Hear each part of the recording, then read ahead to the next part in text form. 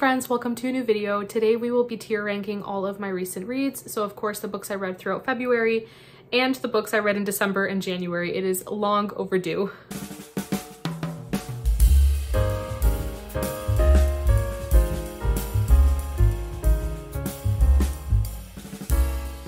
I did ask you all recently what you preferred if you wanted me to do my typical long-winded wrap-ups or a tier ranking video summarizing the books I read in the last few months.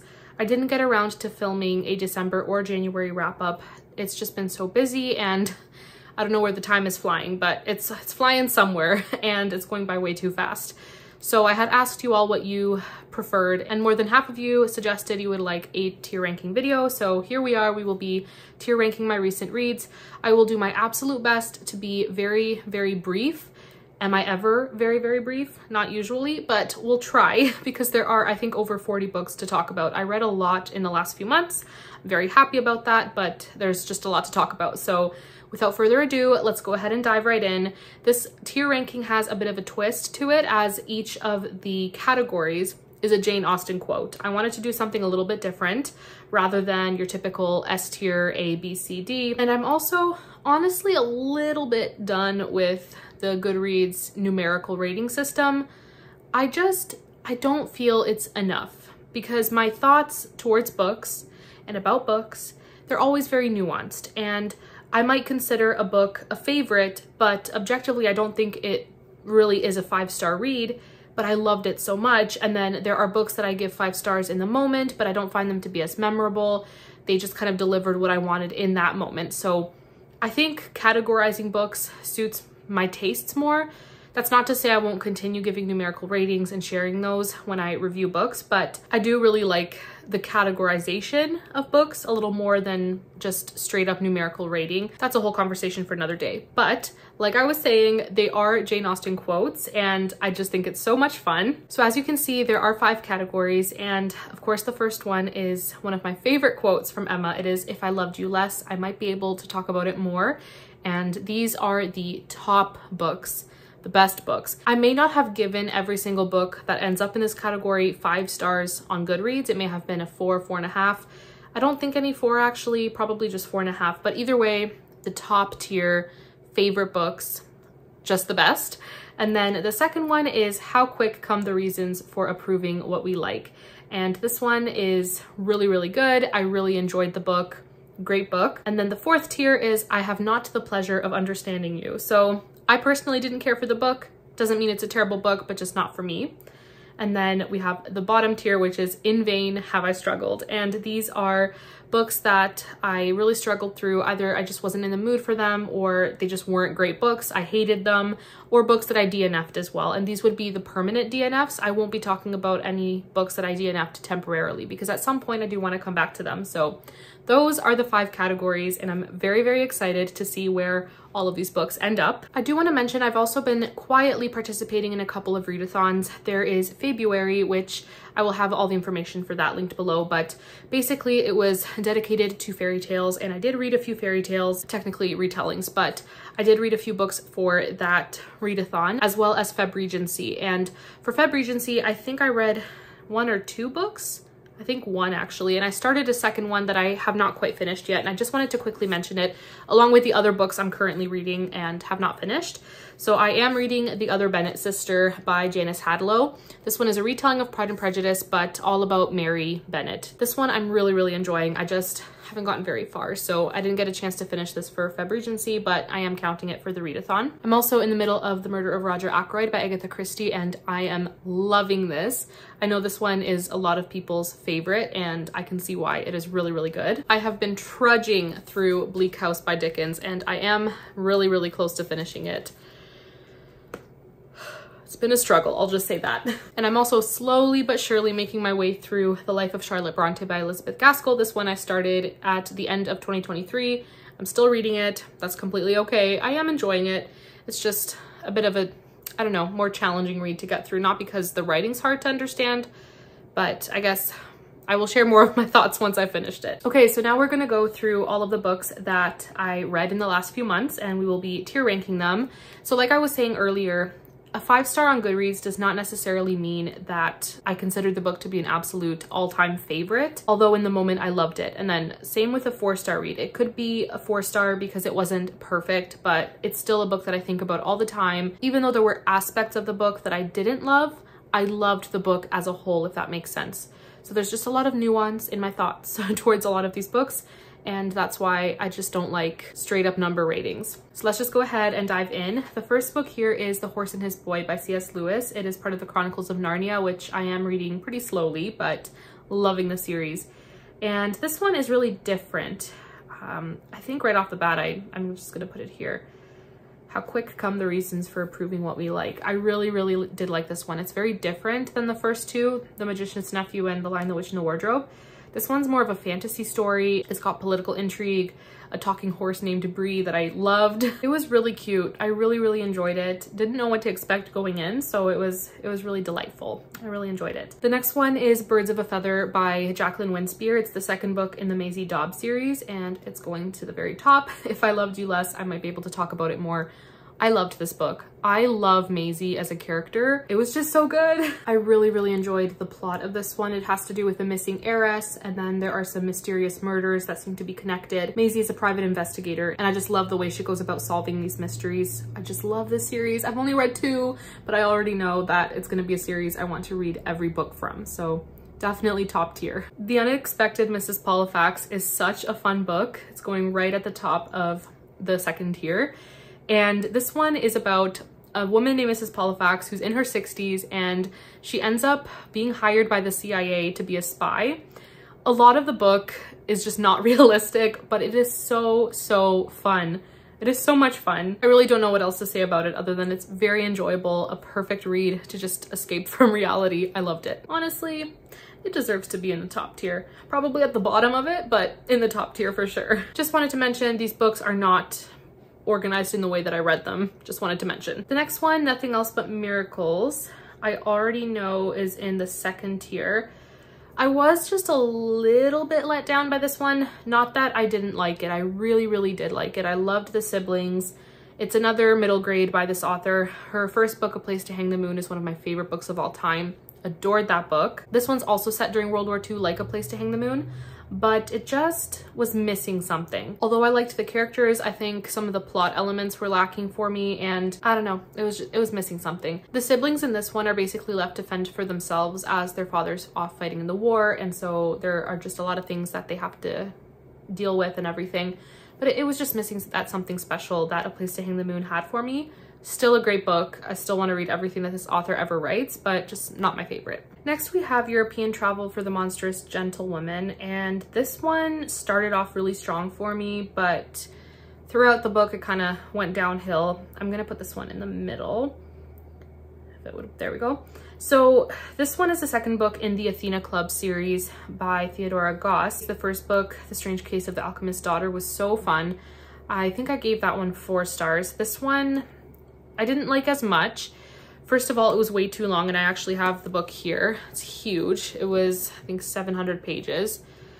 And the plot was just the same things recycled, the same things happening over and over again. In the first book, we have five main characters. They are all monstrous in some way, shape, or form. One of them's the daughter of Dr. Jekyll, one's the daughter of Mr. Hyde. We have characters with connections to Dr. Moreau, Frankenstein. It's It's got a lot of those gothic classics kind of interwoven in the story. And we also have Sherlock and Watson. And in the first book, there's this secret society of mad scientists, basically. And the girls are trying to expose them and fight for justice because of the monstrous deeds that they've been doing, that this secret society has been doing. And so that kind of continues on into the second book. We have a girl that's kidnapped and the adventure continues in the second book. But like I was saying, it was just the same thing recycled. The girls kept getting into trouble, getting rescued, getting into trouble, getting rescued over and over. But without much character growth, it was just not organized well. Like the plot was not paced well. And as someone who likes Dracula, I really, really love that classic. I don't like the way that vampirism was interwoven in this book. Just the way that it was done wasn't my favorite. So middle tier, tolerable, good book, just not my absolute favorite. Oh, this next book was just wonderful. That goes right at the top. First book Come on, switch, there we go. In Feast or Famine by Mesu Andrews. This is biblical fiction. It's about Asenath, who was the wife of Joseph in the Bible. Mesu Andrews is one of my favorite biblical fiction authors, just one of my favorite authors of all time. And this book was wonderful. I loved it so much. And like I was saying, it's about Asenath, who was the wife of Joseph. So we have her perspective, and we also have Joseph's perspective and Asenath's father, who was a priest. That's fictionalized. A lot of the book, it has to be fictionalized because we don't get a lot of information in the Bible, but I love the way that Mesu Andrews interweaves truth with fiction. She just, she's perfect the way that she does it. This book was a perfect blend of biblical history, romance, and politics without the political side being too much for me. And the setting was so lush. I felt like I was there in ancient Egypt. I just loved it so much. This video is already getting long and I've barely scratched the surface with these books, so I gotta speed it up a little bit. The next book, Dissolution, is going right here. I really liked this one. I was so intimidated going into it. It's a murder mystery set during the Tudor period, and I barely know anything about the Tudor era besides Henry VIII and his wives, and very just very little about them as well. But I went into this book just with an open mind, and I was very, very pleasantly surprised. There were some things I didn't like. It was a bit gruesome. There were some details of life in a monastery that I really, it made me really uncomfortable, but I loved the mystery and I really, really enjoyed the main character.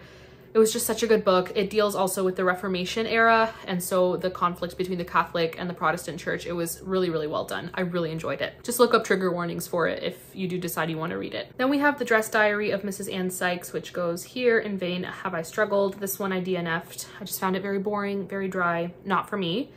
The Book Thief. This one can go here. I really, really enjoyed it. Another book that I went in not knowing much other than the narrator is Death.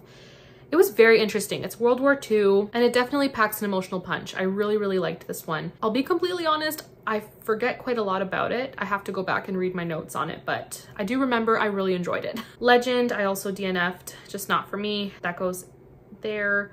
Then we have The Night Raven. This one I read in full and liked some parts, but overall I it wasn't really for me. It's a middle grade mystery. It is translated from Swedish as well, and I'm not sure if that had anything to do with why I didn't really enjoy it all that much. It's very wintry, and honestly, the, the tone was quite dark for middle grade, so I didn't really like that. It was interesting. It was okay. We'll just leave it there. My laptop just froze, so had to play around with it. Hopefully everything is still properly in frame. But anyways, next book. the Inspector and Mrs. Jeffries can go right here.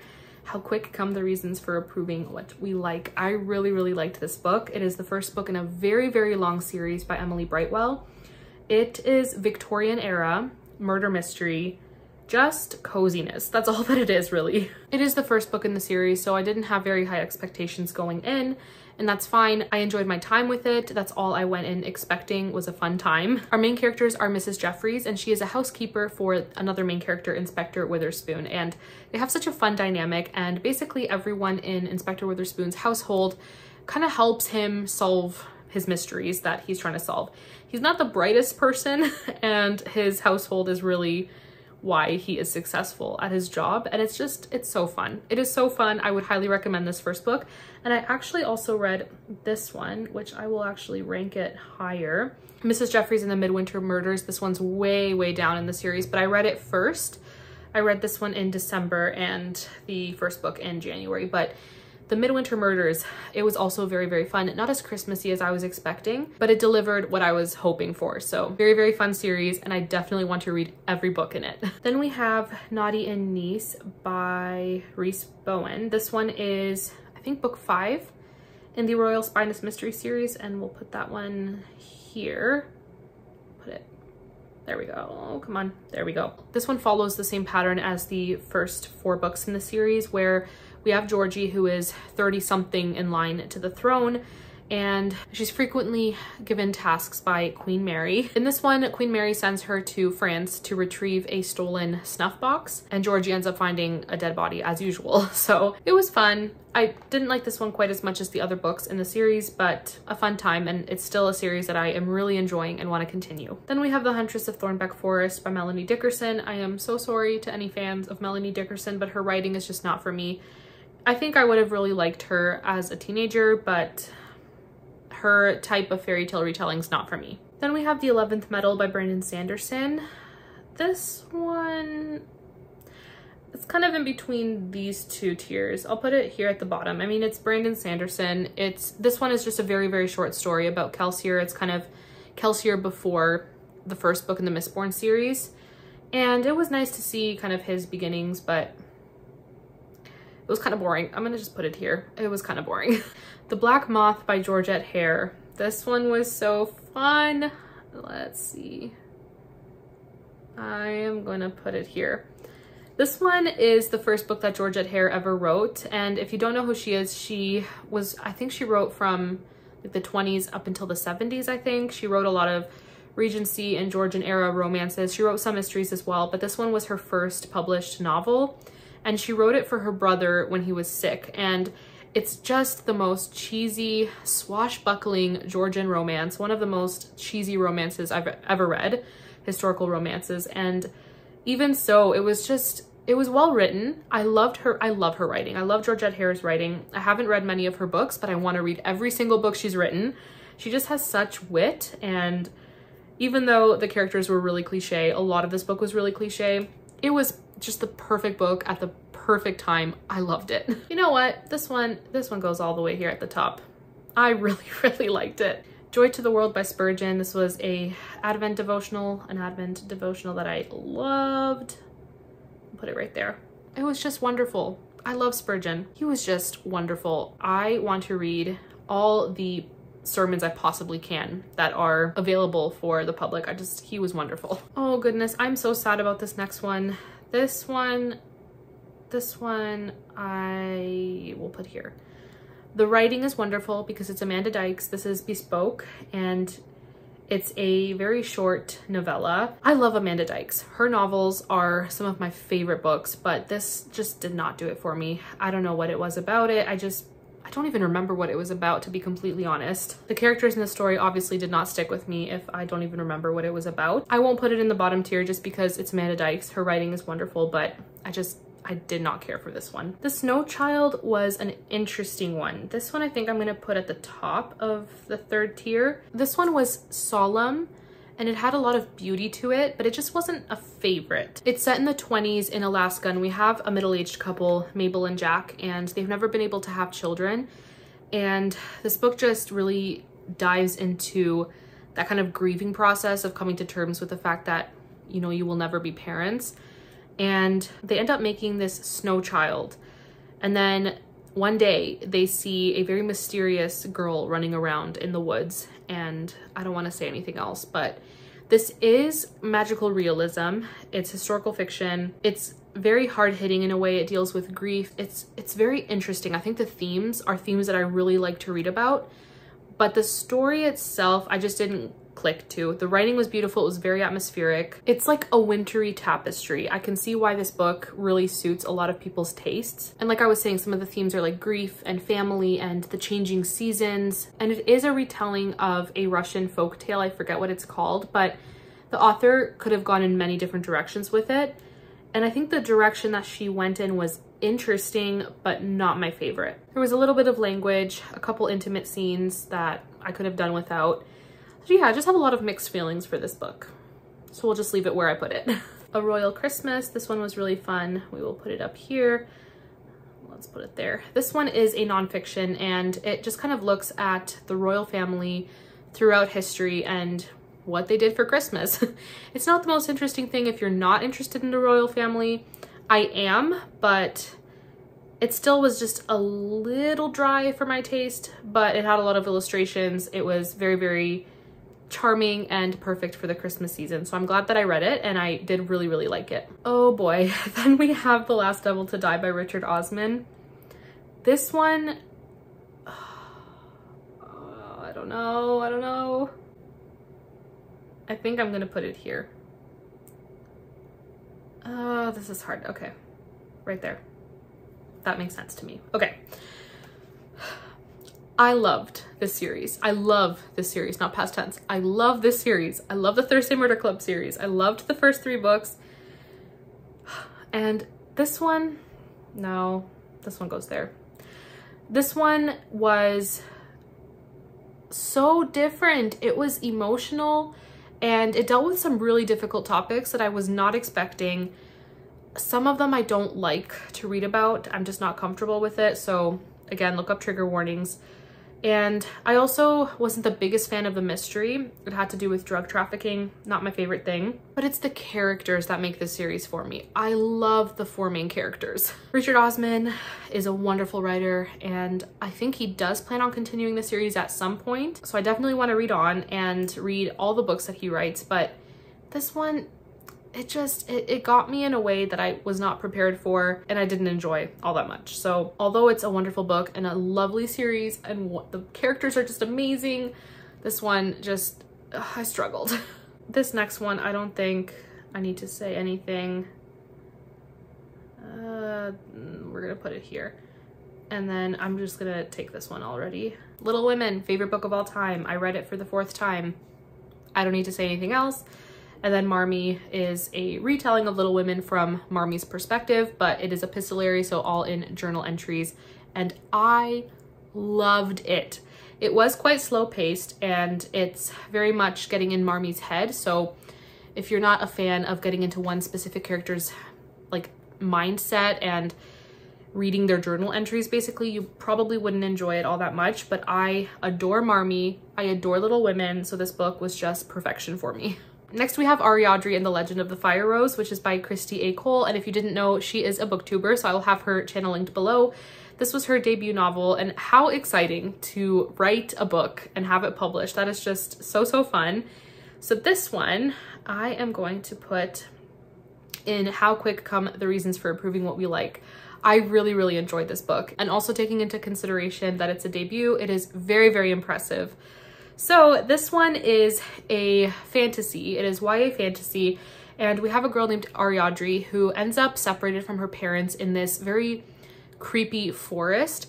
And they basically kind of tell her how to get to safety. There are these magical creatures that are raining terror and she gets separated from her parents, ends up in this manor where she starts to learn a little bit about her past and about who her parents are. And this manor is technically a school for training young girls in different subjects and also in weaponry and things like that. And as Ariadne is at the school, she along with the other students learn about these different threats that are facing them and it is just so so fun it was very very engrossing and very whimsical and it's also perfect for fans of gardens and flowers and all of that. The nature descriptions were beautiful. The descriptions of all the flowers, it was just so, so luscious. There's just so much creativity that's evident while reading this book.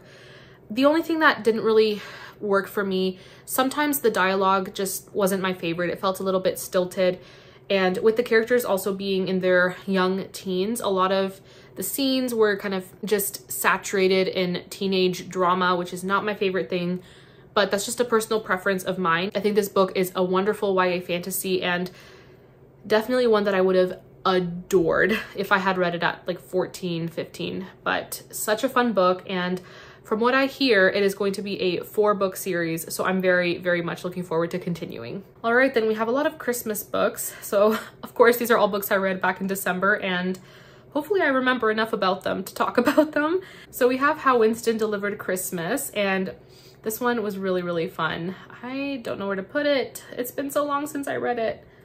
Uh, let's put it here. This one is so fun. It's basically about a mouse and he finds this lost letter that was supposed to make its way to Santa, but it never did. So he goes on a journey to bring it to the North Pole. And this book is told in 24 and a half chapters. So it's like an advent book that you read for the 24 days leading up until Christmas. And it was so fun. This one would be so, so fun to read to your kids.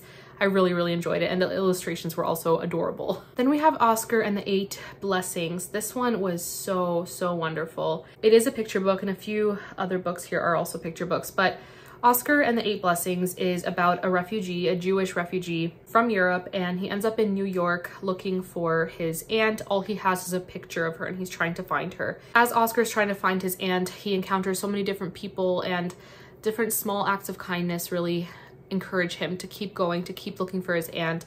It was so, so heartwarming. Such a precious picture book. Then we have another little Christmas murder, which I'm gonna put here. I did enjoy it. Um, it is a modern classic set around Christmas time. It's an isolated close circle mystery and our main character, her car ends up breaking down. This is set in Yorkshire, so her car ends up breaking down because of a snowstorm. And this young gentleman comes and finds her in the snow and brings her to his uh, aunt and uncle's mansion uh, to stay the night and a suspicious death occurs and it was fun.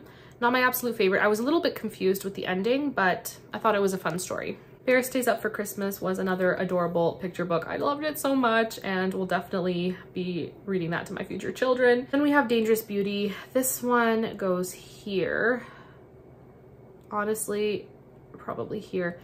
This one was interesting. It is Christian fictions, contemporary, uh, and it's basically about a girl who is saved from human trafficking. And it seems like the only way for her to be saved is for this man who finds her at a gas station trying to flee her captors. He offers to marry her, so it is a marriage of convenience. And that's normally a trope I like, but I just had some personal issues with the way it was done in this book and the writing wasn't my absolute favorite, but I do think that the author did a great job discussing some really difficult topics and she did it very gracefully. I will give her that. But the issues I had with this book, they're me problems. It's just my personal tastes. It's absolutely nothing against the book itself or the author or anything like that. It's just a me problem. Then we have Winter Tales, and this one was fun. It's a collection of wintry and Christmassy, Christmassy short stories. Not all of them were favorites, but I did write down the standouts. So the stories are Tanuki's Gold, of course, The Nutcracker, but this was a very shortened, abridged children's version of The Nutcracker. Uh, the Poinsettia, the Snow Maiden, The Snow Queen, Rabbit's Gift, and The 12 Months. This next book is the only one uh, which I will actually read the summary from Goodreads just because I'm gonna have a hard time describing it. But before that, I'm gonna put it right up here.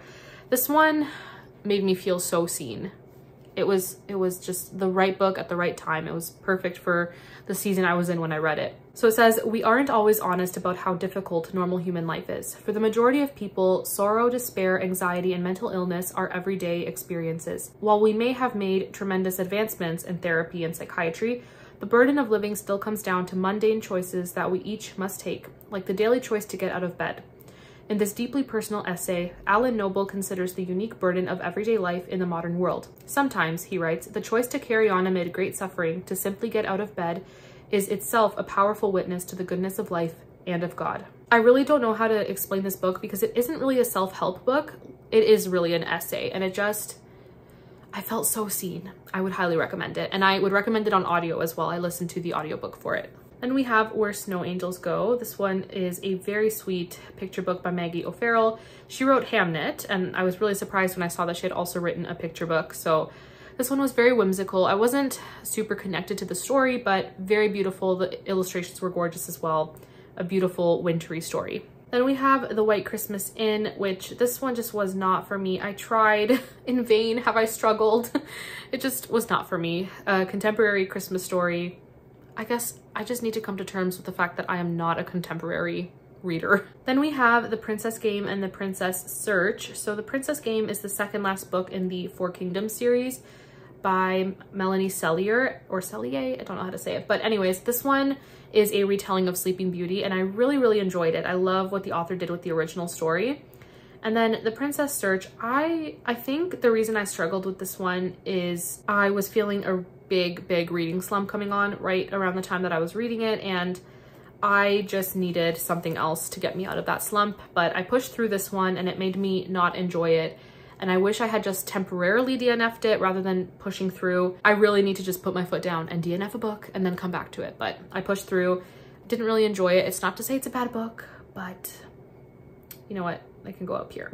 all these next three books are all gems, absolute gems. I'm gonna put that there. Whoops. Absolute gems. These are basically picture book retellings of Anne of Green Gables and I am obsessed. I cannot get enough of this series. There are currently five out. I'm waiting for the fifth book to come out in paperback and then there is going to be a sixth book as well. But we have Anne's Kindred Spirits, Anne's Tragical Tea Party, and Anne's School Days. The illustration style is just gorgeous. I also think the author did an incredible job of kind of retelling certain scenes from Anne of Green Gables, but for young readers.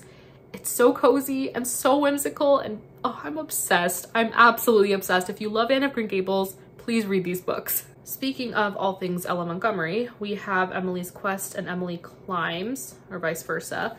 Emily's Quest, this one I will put there, and then Emily Climbs we'll put there. Totally just swapped the titles. This one is Emily Climbs, this one is Emily's Quest. Emily Climbs is the second book in the Emily series. I had read the first book twice and I just never continued the series. I'm not gonna get into what the Emily series is about, but Emily Climbs was a bit of a struggle because of a certain man named Dean who was an utter creep and ruined the book for me, but still a great book because it's L.M. Montgomery, she's a great writer.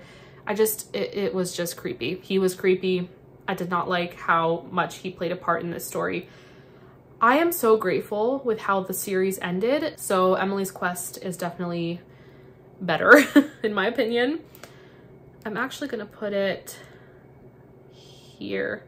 I really, really enjoyed it. I love how the author completed this, this trilogy. I love how this ended. It ended the way I was hoping it would but with some twists. I'm not gonna spoil anything, but I love where the Dean storyline went.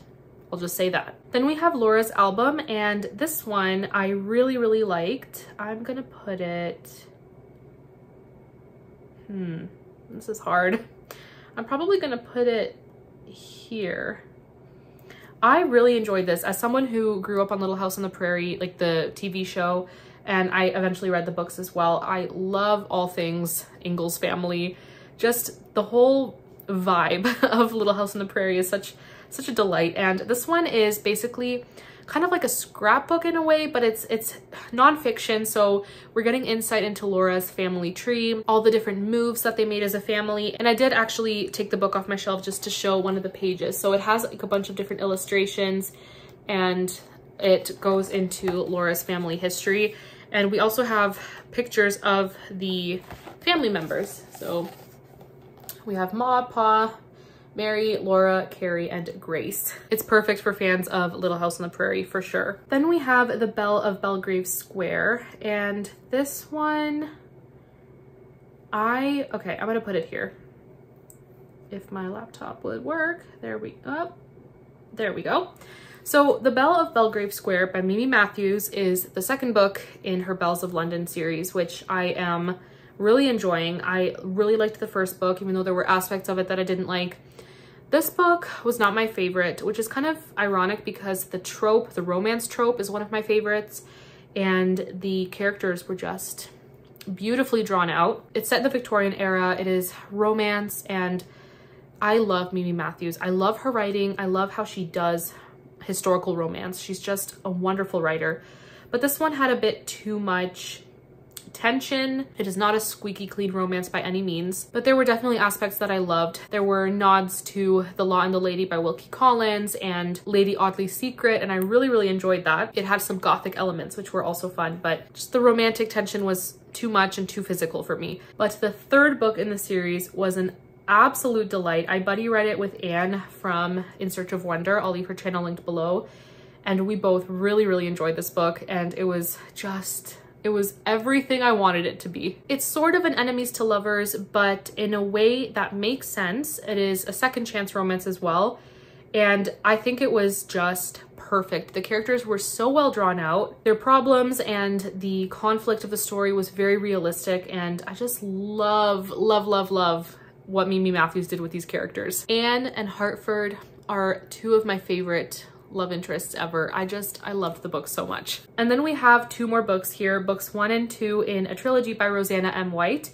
We have The Number of Love, which I really, really enjoyed. That goes at the very top of How Quick Come the Reasons for Approving What We Like. And then on Wings of Devotion, I am going to put here, which I also loved. Whoops, I want that here. So these books are set during World War One. They are the first two books in the trilogy, like I was saying. And as soon as I finished the first book, I ended up ordering the third book and I cannot wait to read it. But the first book, The Number of Love, is about these code breakers and our main character, Margot, She's the sister of one of my favorite characters from another trilogy by this author, I think Shadows over London. And in this one, she is a code breaker. She is so intelligent. I believe she is on the spec the autism spectrum and I love how the author explored that aspect of her personality and her character. I felt an instant connection to her as well as her love interest Drake. I have said before I am really really picky with Christian fiction but I love Roseanna M. White for the most part. There are definitely some books by her that I did absolutely love but she's definitely a comfort author and I will always want to read her books. The second book, On Wings of Devotion, I loved even more. It's set during the exact same time as the first book and the characters do overlap so in the second book, we have our main character Arabelle, and she, I felt like I was reading about myself reading this book. Obviously, there are differences because no character has like this perfect cookie cutter personality that someone can fit exactly into. I'm not saying that, but I just felt such a connection. I felt like I was reading about me. She's 25 years old. She is a nurse. She has a very strong desire to be a mother. Some aspects of her family life felt very relatable. I rarely connect this strongly to a female character. I loved that so much and she meets a man named Camden who was introduced in the first book and he is just a broken, broken, angry man, but for a good reason. And just getting to know them, it was so beautiful and seeing their relationship develop. I loved this book. They were so, so complex and relatable and so well drawn out. I loved it so, so much. But that is a wrap. Those are the books that I read in the last few months. I am so glad I finally, finally wrapped up December and January long overdue, but here we are. I'm very happy that most of the books are in the first two tiers. That makes me that makes me very, very happy. It's satisfying to see. And I hope that going forward, I just continue to read great books and I hope you all do too. I don't think that this is going to be the usual setup going forward where I tier rank the books that I've read. It's really fun and I really enjoyed using the Jane Austen quotes, but I don't think this is gonna be a monthly thing that I do. I think going forward, I'm going to try to do mid-month wrap-ups and then end-of-month wrap-ups just because that decreases the number of books I need to talk about at a time. And so I can be a little more rambly. I don't know, I am open to whatever. You let me know what your thoughts are if you like this setup or if you want me to do mid-month and end-of-month wrap-ups. I really don't know what I'm gonna do, but we shall see. Anyways, thank you to each of you for sticking around, watching this video. Please let me know in the comments what your thoughts are on these books, if you've read any of them. I would love to continue chatting. But that is it for this video. Thank you so much for watching and I'll see you next time. Bye.